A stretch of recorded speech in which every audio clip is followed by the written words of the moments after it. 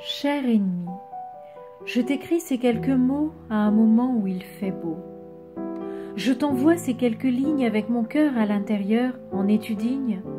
Qu'importe, je vais quand même te dire avec sincérité tout le mal que tu nous fais et l'espoir qui naît pour un autre avenir plus apaisé. Tu débarques là, ici, tout juste après l'an neuf, tuant cette décennie sans état d'âme dans l'œuf. Bien pire que l'incendie qui nous mobilisa, tu es sourd à nos cris et tu nous veux sans voix. Tu exiges qu'on te voie, qu'on te sente, qu'on te craigne et qu'on ait peur de toi sous nos petites laines. On a même fait des lois pour ne pas te répandre et d'autres avec leur foi prient pour qu'on les entende. C'est quoi ton problème?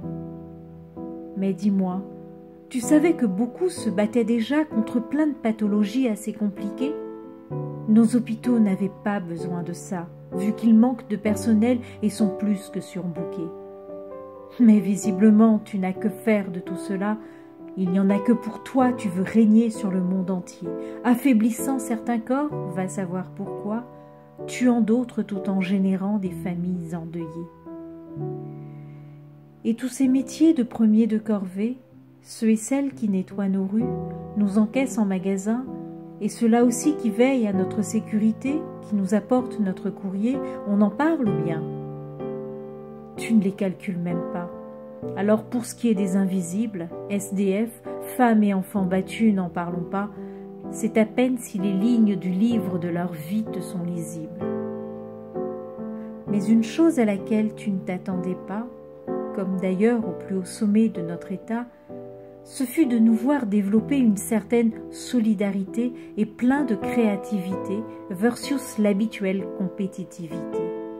Et ça, ça te laisse pantois. Tu voulais juste nous ralentir et nous faire taire pour que la nature reprenne ses droits. On s'est exécuté et avec inventivité on a créé de nouveaux liens tout en te laissant faire.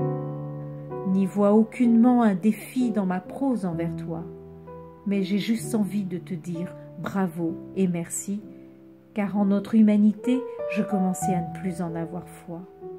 Oh, je sais, rien n'est gagné, il restera toujours des cas, mais mon petit doigt me souffle qu'il y aura un après, plein de paix, de vivre ensemble et de joie. Ça tombe bien, le bifort est prévu pour mi-mai, tu peux partir serein, on a gagné en authenticité. Ironie de l'histoire, c'est assez marrant, Grâce à toi, on a pu tomber les masques pendant le confinement pour demain avancer masqués pour se protéger.